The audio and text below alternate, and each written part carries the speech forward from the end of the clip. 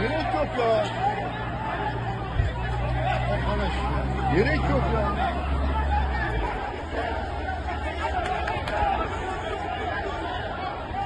Bu maçta da kavga çıktı.